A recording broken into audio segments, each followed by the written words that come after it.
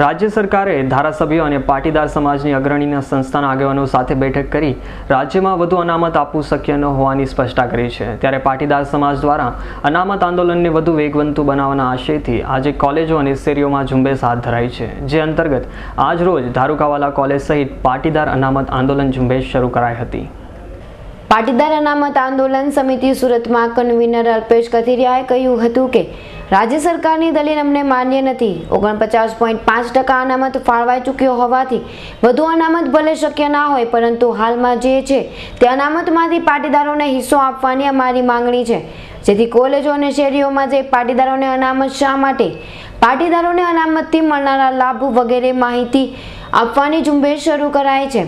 જે અંતર્ગત આજરોજ વરાછાની ધારુકાવાળા કોલેજ ખાતે પાટીદાર અનામત આંદોલન અંગેની ઝુંબેશ હાથ ધરી વિદ્યાર્થીઓને માહિતી અપાઈ હતી. આજે અનામતની લડાઈ છે એ જાહેર છે અને એમાં પાટીદારોને બધાને સાંકળવામાં આવશે. ડૉક્ટરો બી આવવાના છે, વકીલો બી આવવાના છે. મેડિકલ એસોસિએશન પણ આમાં સાથ સહકાર આપી રહ્યો છે.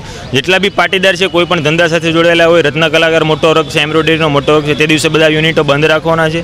સ્વયંભૂ લોકો ઉમટી પડવાનું છે અને સરકારને એક મેસેજ આપવાનો છે કે પાટીદારમાં એકતા છે અને પાટીદારોના સંતાનોને આ અનામતની જરૂર છે સત્યાવીસ ટકામાં ઓબીસી કોટામાં સમાવેશ કરવો પડશે. એક ખાસ જણાવવા માંગીશ કે મીડિયાના માધ્યમથી સરકારશ્રી સુધી અને ઘણી પાર્ટીના પોલિટિકલ લીડરો સુધી પહોંચવા માંગીશ કે અમે આ કોઈ આંદોલન કોઈ પોલિટિકલ પાર્ટી સાથે સંકળાયેલું નથી કે અમે કોઈ પણ પાર્ટીના એજન્ટ નથી. અમે સમસ્ત પાટીદાર સમાજના માટે અત્યારે કામ કરી રહ્યા છે. તો જે લોકો અત્યારે હાલ ટિપ્પણી કરી રહ્યા છે, જે લોકો હાલ મીડિયા અને પ્રેસના માધ્યમથી આ આંદોલનને ખતમ કરવા માંગે છે, તે લોકો સાવચેત થઈ જાય અને એમને પણ અમે જાણ કરીએ છીએ કે આ આંદોલન કોઈ પાર્ટી થકી નથી. અમે ઓનલી ફોર પાટીદાર સમાજના હિત માટેનું કામ કરીએ છીએ.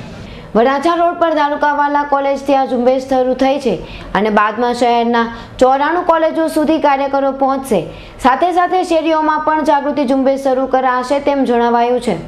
Bureau report S nine news Surat.